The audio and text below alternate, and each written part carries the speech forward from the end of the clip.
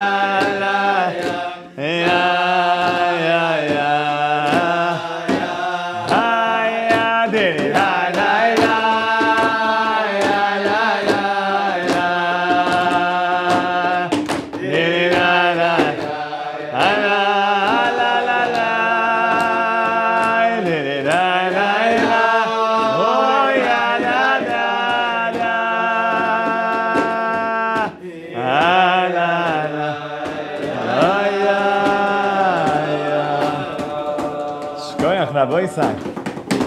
Baruch Hashem, we're getting ready for the Tish tomorrow. I see. Making a special Tish tomorrow night. Hashem. We have a minhag that we don't listen to music for three weeks. We're going to talk about that. I was like, what? Three weeks? We'll talk about it. We'll talk all about it. If God forbid, lo aleinu, somebody passed away, and on the way to the funeral, you're like bumping some, uh, I don't know, whatever they play. Would it feel appropriate or not quite? Why not? What's wrong? You're supposed to feel your pain, you know, you're not supposed to drown it out with music. So sometimes music can enhance, and other times music can distract for so many, music is a distraction more than it is an enhancement. It's a way of sort of numbing out, dealing with stuff. So for three weeks, we sensitize ourselves. We'll talk more about it tomorrow night, which there will be music. We love music. We play a lot of music as Jews. There's going to be a lot of music tomorrow night. Our dear friend Rabbi Akiva, who knows how to make the, make the beautiful sounds, I feel like sounds from the Beis Hamikdash. And that's sort of going to be our transition from a time of music going into a time of no music. So we'll talk all about that tomorrow night, Mitzvah. The power of our words are extremely strong. We generally don't appreciate how powerful our words are. Our words are mega, mega powerful. When a person makes a neder, which is not a good idea. We basically talk people out of making neders. Don't make an oath. It says if a person makes an oath, it's like he builds an altar somewhere in a foreign place. And if he actually keeps the oath, it's like he offered a offering on top of that altar. So try to stay away at all costs from oaths. Nowadays, especially because we're very weak in our constitution and our keeping of oaths, but when it comes to an oath, the Torah says, Lo yachal devarai. Do not profane your word. Meaning, if you say you're going to do something, don't profane it by not doing it. Whatever comes out of your mouth, make sure you do it. Meaning, don't profane what you said, and whatever you did say, make sure you do. Which, even without an oath, a person should be very, very careful. This is a major Jewish message to the world is own your words. If you say you're going to do something, do it. I mean, even little things like, oh, I'll meet you downstairs in five minutes, bro. And then just space out and don't go. Be careful.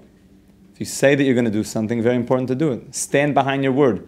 In the olden days, my Zaidi, my grandfather, would always describe, he was in the shmata business. How do they say that? Textiles? Shmatas. Oh, yeah, yeah. The shmata business. Sold. Uh, linens and things to make suits. So he was in the shmata business, and he would travel all across Canada, buying and selling things. And he would go all the way from Toronto to Nova Scotia and to Vancouver and meeting people, setting up deals, getting stuff that they. So oftentimes, if he didn't have the money on hand, he would give his word. And he said, I will pay. And people knew if Jack Cooper said he's going to pay, then he paid. And he would make sure that if he's going to come back on that day across Canada, he would bend over backwards to make sure that he got to that place, to make sure that he paid on time, because for him, his word was everything. And I remember when I was growing up, he was giving me these lessons like, keep to your word. And nowadays we know, like, talk is cheap. But if you can hold on to that. Whatever comes out of your mouth, do it. Try very, very hard. Bend over backwards to keep your word. Make your word emet. Make your word truth. At least do your very best to. So that's the simple meaning of the verse. Lo yachol devarai, don't profane your words. And whatever comes out of your mouth, do. I want to tell you something the Kamar Rebbe said though. Said the same verse, Lo yachol devarai. Lo yachol can mean something else. Lo yachol could also mean like to hope for something. Lo yachol devara means like you're meyachel, you're hoping for something. Don't think that your words are only something that you hope will come true. Don't think that when you say something, I, I hope that this will come true. I know I'm praying for something, but I, I only hope that it will happen. Kechol asher yos- kechol asher yotzmi piyase, whatever comes out of your mouth, it will happen. Yase, it will happen. Don't only think that things that come out of your mouth, lo yochel devara, don't only think what comes out of your mouth is just saying, I hope will happen. Kechol hayotzmi pi yaaseh. Things that come out of your mouth will happen. Your words are very powerful. That's why anybody grew up in the playground? Sticks and stones can break my bones, but words can never hurt me. Is it true? No, it's a lie. They lied to you. Words are very hurtful. Words are very powerful. And the Jew teaches the world that your words are very meaningful. Don't play games with your words. They happen, they create reality. Choose your words wisely. And as we're getting into the three weeks now, that the Beis Hamikdash was destroyed. We spoke yesterday because of Birkus Torah. We're going to go more into today. And it was destroyed because we were not saying nice things one to the other. We weren't saying nice things to each other. Evil world, words create evil in the world. Be very careful. Careful what you listen to. Careful to the music you listen to. We mentioned this before one time that sometimes a person grew up listening to different secular music and all of a sudden he becomes religious and he's like still singing like those old tunes, the old ditties. And next thing you know he's like singing these words and he's like, those are like nasty. I didn't even know. Yeah, most music has got some weird agenda. But the music kind of just goes in. You don't even realize, just like moving to the beat and just saying the words, and you realize, like, whoa, I better be more careful with what I'm saying. But when you're in the music, you just kind of get pulled. You don't realize that you're saying these words. Be careful with what you say. Wait, I have a question. If Yes, my friend. If you're saying it, does it like still count as you, you meaning it? Because you're like singing it. You're not really like, like if you're not conscious of the words you're saying. Yeah, what you say, Like, like if a song says like you swear to like him. that's right. Is that like bad to say? Yeah. In the, like, Yeah, your words are powerful. Your words are very powerful. Be careful of your words.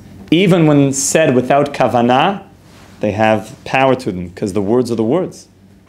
If they're said with intention, then certainly it's even more powerful. So be an observant Jew. Observe the things that you're listening to, observe the things that you're saying. I know it sounds like a crazy thing. You, got, you ready for something crazy right now? Think before you speak. Wow, I never thought about that one. Yeah, think before you speak. I'm sorry to say it in such a like terse and just straightforward way. But we oftentimes don't. We just kind of spew. And your words are very powerful. Kachol, asher yotzim piyase, uh, whatever comes out of your mouth, it's going to create things in the world. Like the Maggid said on the Mishnah in Pirkei Avos, da, mala mala. If a person wants to make sure that he doesn't come to sin, what should he start by doing? You should know, mala mala. First know that Hashem is watching. There's an eye that watches, there's an ear that hears, and all your acts are being written into a book. Yeah, there's books up there that write everything down, that are transcribing everything that we're saying right now. Ever seen like uh, what they do if your, sometimes your voice is put on a computer and all of a sudden you just see like there's words below there, they're just transcribing it. Sometimes they're a bit funny, the translations. like one time I saw Shabbos was like cheruvim for some reason. I don't know, it turned out cheruvim. But things are being written down. But Hashem is exact. There's an eye that watches. I remember when I first saw video cameras and you saw yourself on it. Oh my goodness, is that me? Like you, you guys already grew up, but this is like normal. But I grew up in the transition between having no concept of watching yourself on a screen. I grew up in a time that you could record your voice for the first time, Walkmans, and you would hear your voice. At, oh my, where's my voice? Like, what do they do? I said that. Like, that was then. How am I playing it now? The recording stuff. I don't mean the commies. I mean God. Hashem is recording. Hashem is going to ask us about all the things that we said. And we have to be able to own up to that. So da mala mala, you know what's above?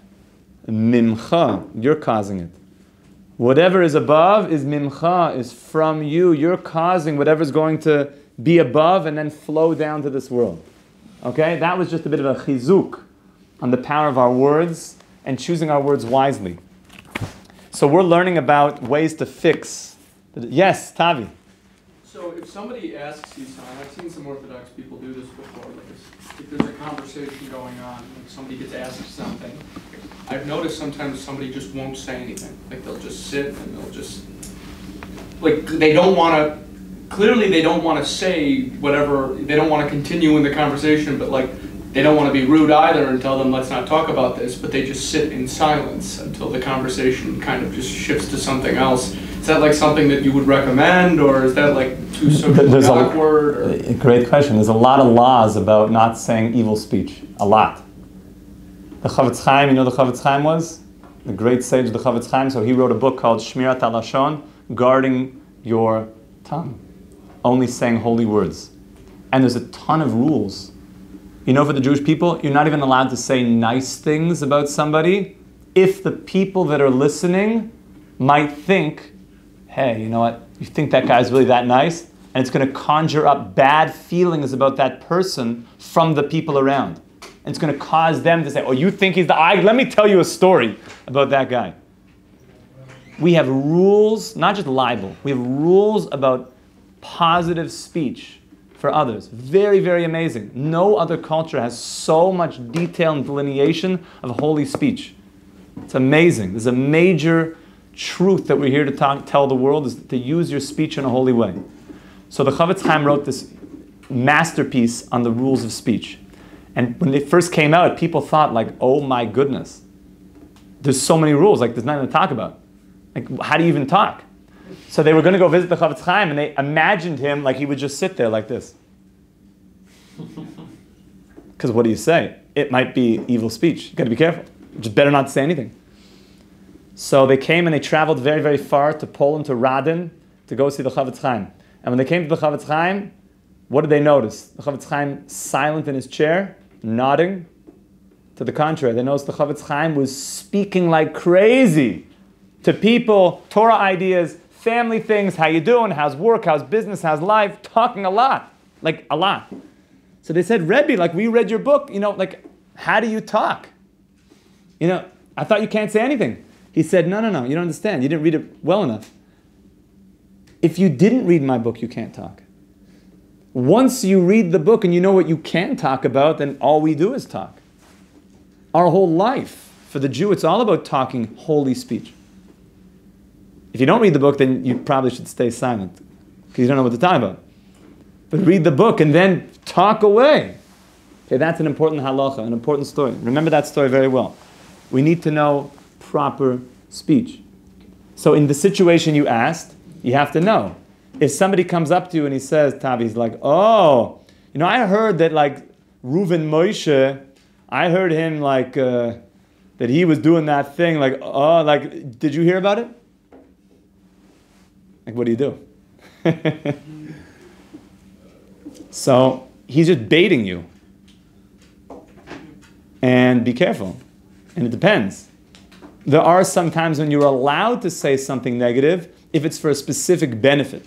For example, if somebody knows that this guy was dishonest in business, which goes against the Torah, and we, we con- condemn that type of behavior. And now somebody comes to him and he's like, I was offered by so and so to get involved in a, as a partner in a business. I knew that you were a bit, your partners with him some time ago. Can I ask what happened? Why you're not partners anymore? You know, I'm thinking about investing $10 million with him. What do you say? So, well, should you think, well, I don't want to say anything negative, so I'm just not going to tell you that he actually cheated me out of, you know, $5 million. Should you tell that person? Yes. Absolutely. You have to. A mitzvah to tell him. You, you, you have to reveal. You want to make sure that this guy doesn't get involved in a bad business deal. But you don't add anything onto it and you tell him, I'm telling you this for your benefit.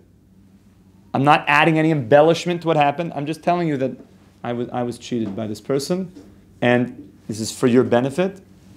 To know that so you don't get involved in, in a bad business deal. It's us, sir, if you know the person won't take their, the advice seriously. For lack of- That's right. It's us, sir. It has to be that he's going to receive it. What about if uh, somebody is dating a girl and this girl had something very, very negative? I don't know, like she's, she like, what could I say? I don't know. Think of something really bad. She's a serial, no, uh, thief. I want to sound more tame. and I can- Let's not go crazy over here, okay? Yeah. She's a serial klepto thief. Uh, and, and she, she literally just steals all the time. And you were dating her, and you realized like she would steal from you, she would steal from everyone. She'd be, be in, the, in the, the hotel, she's like stealing stuff, stealing everything. And then your buddy is dating her. It's like, can I ask, like, you mind, like, what happened with that? Like, I'm dating this girl, I like her a lot. He didn't notice because she's a good, she's like thieving everything. His Rolex was gone one time. He's like, I don't know what happened to it. I probably left it at home. Yeah, she's got it. So, can I ask, like, what happened? So, should I? I don't want to say a negative thing. Like, should you tell the person? Yes. For sure. You, you don't want a wife who's a serial uh, con artist thief. Right? We're, we're okay with that? You're not saying that she's a horrible human being. You're not saying that her soul is tainted. You're saying that she's got a problem. And it's probably not a good idea to get involved in this relationship. I'm telling this for your benefit. And by the way, you could share this with other people, but you can't go and like put this in a new. You can't. Well, if it's going to impact other people, you, you probably have to get the, her help. But you can't just go and spread evil speech if it doesn't have a purpose. In this case, if somebody is a serial uh, con artist, you might have to warn the larger society as well, but you have to be tactful even how you do that. Yes? What about discussing negative things that people are already aware of? For example, somebody walks in the room now, yells some rude things at us, and leaves. We don't necessarily have to discuss it. We all saw it happen, but you know, like, are we allowed to discuss amongst each other? Wow, that was really rude. That was a mean thing that this person did. So even though that when things become public information, there's no longer a certain prohibition in saying it, it's not a good idea. Why? Because if you become someone that just says negative things, it taints you. It's tainting on you. Even though people know about it, you don't want to lower your status as a human being. That what do you talk about? Negative things that people know about. You need to use your voice for exalted, holy purposes. And therefore, even though certain things in the Torah might not be prohibited, but it lowers your stature as a dignified person. The most powerful tool you have is the power of your voice. You want to know what the power of Mashiach is going to be? We are taught that the power of Mashiach is going to be, he's not going to fight wars. He's not going to use weapons. The power of Mashiach is going to be his power of his voice. He's going to be the greatest speaker in the world. And he's going to win people's hearts over through his voice. His voice is going to be used for holy, exalted things. Because the power of speech is the most powerful weapon we have. Either to destroy, God forbid, or to build. The voice is so powerful. That's why, what do we do all day in yeshiva? And we invite Yidden all over the world to come and join us in yeshiva. We learn Torah Shabbal Peh. We learn the Torah, which is the oral Torah. All day. What do you guys do in yeshiva? You're probably tired. Probably the first couple weeks in yeshiva, you're like, I need some like Ricolas. Like my voice is you know scratchy because you talk all day long in yeshiva. All day long about holy things. It's to purify our voice. And you know who's the master of Torah Shabbal Peh? King David. He's the master of Torah Shabbal Peh. He's the, his weapon is the weapon of speech, of holy speech. That's why he's the Mashiach. Mashiach will use the power of speech to heal the world, to bring the world to an exalted level of consciousness. And we're going, we're following in that way of using our speech for holy things. I don't need to tell you, and I didn't see it myself, but I, am I'm making a pretty educated guess. You'll tell me if I'm incorrect in my assessment. If you were to go on to just a random feed, just a random TikTok feed, just pick a guy's phone off the street and say, Bro, do you mind if I just like check your TikTok feed? And you were to scroll through the feed and listen to the words that are being used. I have a feeling, I didn't do this, that it's probably not so clean. Anybody disagree with that assessment? And no, no, it's totally clean, holy words, no cursing, you know, very positive, uh, not putting anybody down. Have you tried TikTok kids? E- TikTok. Even the kids, I wonder. I wonder also if things are, are exalted, if things are holy. We want our children to be holy and exalted.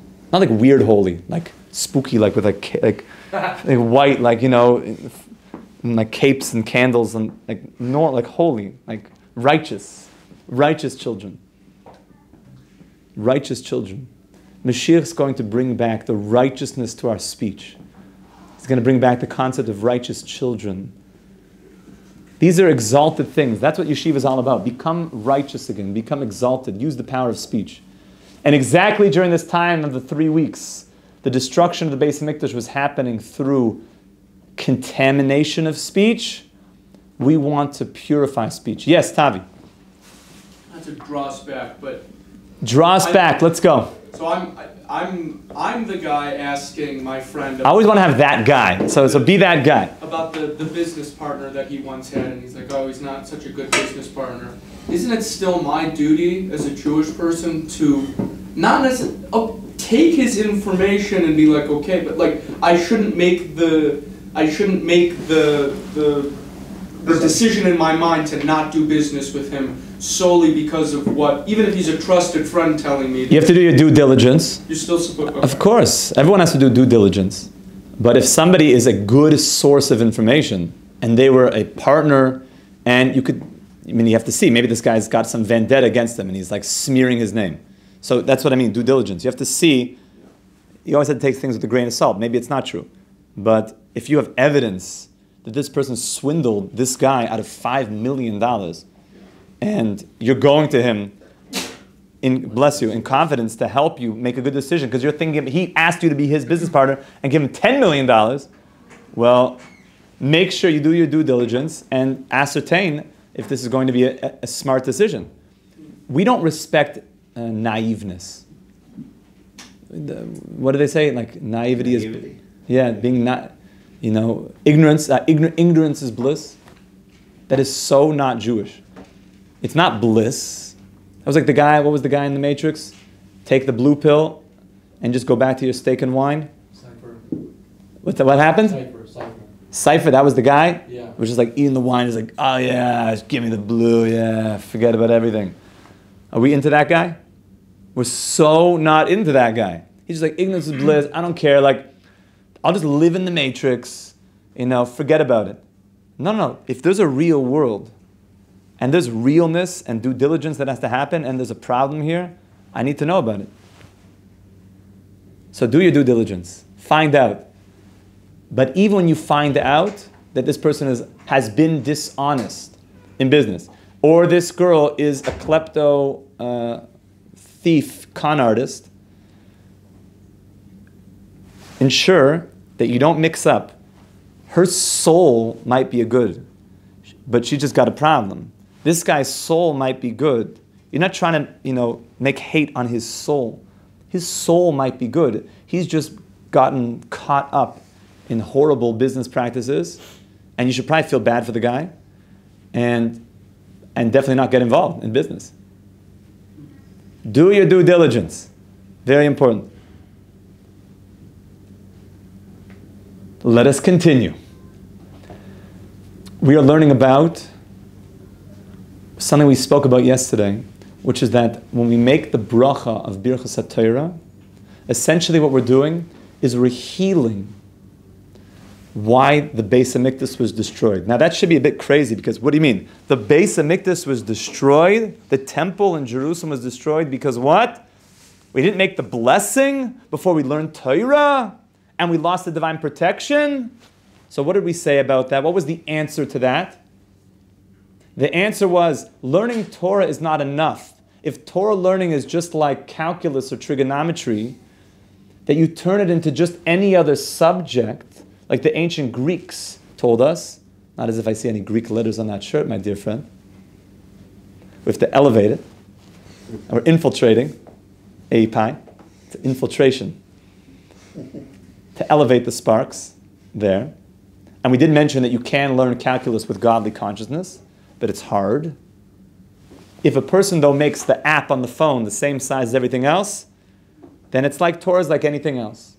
And therefore, I'm not learning Torah for a relationship with God. I'm learning it because I want to become powerful. I'm learning it because I want to, to do any motivation which is not the right motivation. So, what was the sign that we lost the right motivation of learning Torah in the times of the Beis Hamikdash? Even though everyone was learning, we stop making Birkas HaTorah.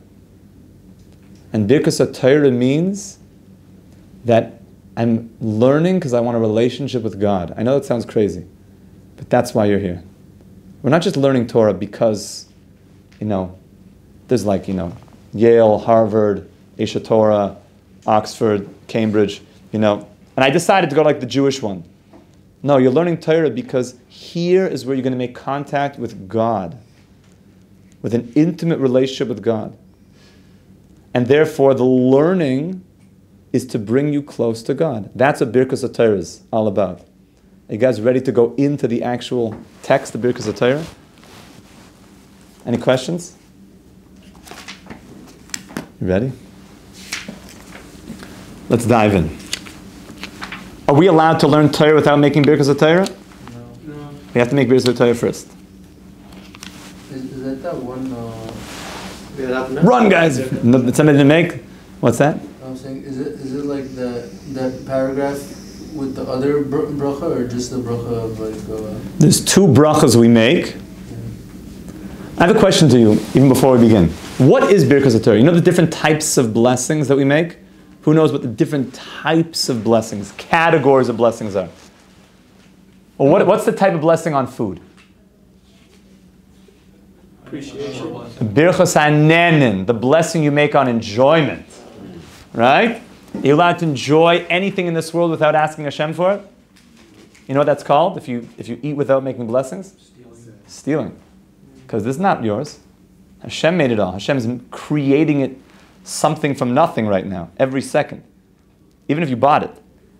Until you link it back to Hashem, it all belongs to Hashem. What happens after you make the blessing? Totally yours.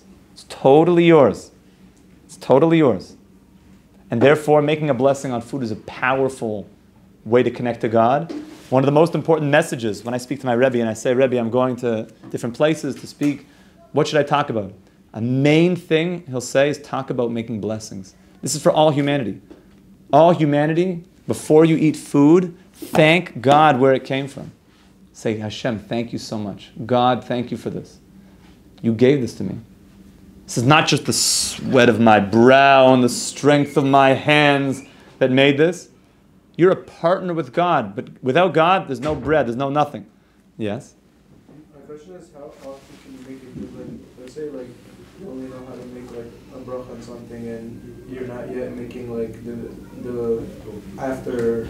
After blessing? Then like, then like how would it count? Like if you're like drinking water, you're saying sh- like shakol. Then like when would you say shakol again? Or when would you Beautiful. That question is beyond the scope of today. There's a good packet from Rabbi Schloss. Rabbi Schloss has great classes on it. That is a question when you get into the beis medrash, like the, the hardcore, you know, top tier Ivy League stuff here. That's when we get into the nitty gritties of those questions. The simple answer, though, just on one foot, is you only make a new shahakol when your mind left the original blessing. either you change locations or so much time elapsed and it's sort of out of your mind, or um, you've kind of separated your consciousness from the eating experience. And therefore, you'd be obligated to make a new blessing. Yeah? That has its own laws, and the laws of making a blessing afterwards have its own laws, which the after blessing laws very much relate to when you digest the food. After the food is digested, you lost the opportunity to make the blessing. It's gone. You make the blessing when you're still satiated from the food.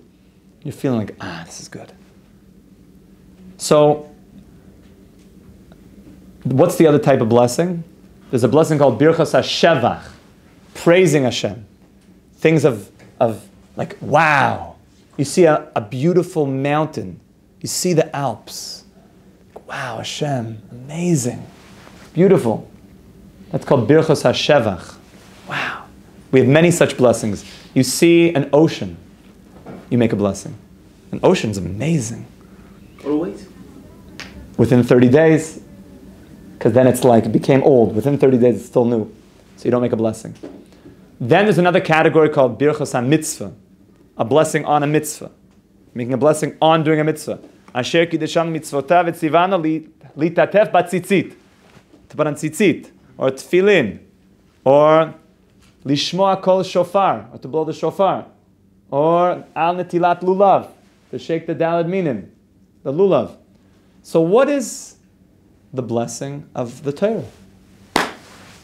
Is it Birkat HaMitzvah?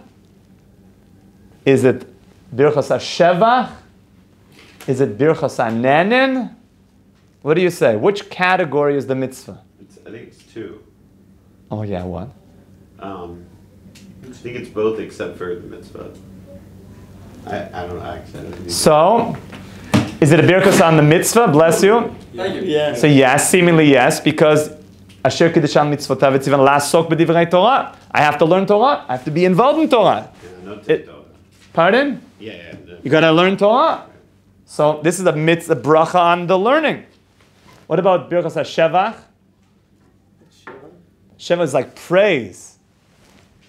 There's an element of praise. Hashem, you gave us the Torah. We're so thankful. Wow. Is Shehecheyanu part of that category? Shehecheyanu is a birchas hashevach. What about birchas hanehenin? A blessing on taste. Yeah, Ah, Moshe Chai, I knew I was going with this. the sweetness of it. So the Mefarshim say that birchas Torah is also a type of blessing on taste. How so? Because when you learn Torah, it's so sweet. It's so sweet. You ever learn some stuff? You know what I'm saying? It's like, mmm, some good stuff. That is good stuff. You know, steak is good. But the Torah, it's like deep, it's sweet. It's sweet stuff. But there's only one question I have for you, my friends. When you make a blessing on eating things, don't you have to make a before blessing and an after blessing? Yes. You do, right? So where are the two blessings? Oh, there's two blessings on the Torah. Which one is the before blessing and which one is the after blessing? Are they both before? You need a before blessing and an after blessing. What do you say, my friends? Well, I have a question. There's two brachot, right? Lasok b'divrei Torah and varevna, delicious, sweet, and then asher bachar banu. Which one is which? What do you guys say? So asher bachar banu, which is the second bracha you say, is the beginning bracha. Right? What do you do? Which is the second bracha, right? So you say, Lasok b'divrei Torah, and what's the second bracha? Asher bachar banu. You chose us Hashem, you gave us the Torah.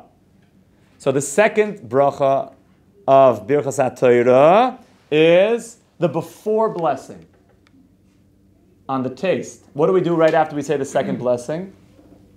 You, you learn. Ah, it's like you take a smoothie, make a shehakol, mmm, delicious, right? blueberry, acai, goji berries. Be careful of bugs. Chia seeds, spirulina, all the good stuff, and you enjoy it. So where's the after bracha? The after bracha is the first bracha we made. Shouldn't you make the after bracha like when you finish learning? Oh, it never ends. It never ends. But I have a question for you. Just make the bracha like before bed. Meaning I start the day with Asher Bachar Banu, and then I make the Lasok B'divrei Torah sometime later in the day. So the answer is, you can't do that. Why? Because how much Torah do I need to learn? All of it. And then how, how much of the day do I need to learn it? All day. Every second of the day. Which means, do I even have time to say the after bracha before I go to bed? No, because I really need to go to bed with Torah. I can't stop. I have to fall asleep with Torah. So what's the only time that I can make the after bracha on Torah? So, but, so if you could when you're sleeping, fine. But the next available time is when you wake up in the morning. Ah, but what do you mean? Does that mean that I'm not learning when I'm sleeping? No, you are learning when you're sleeping.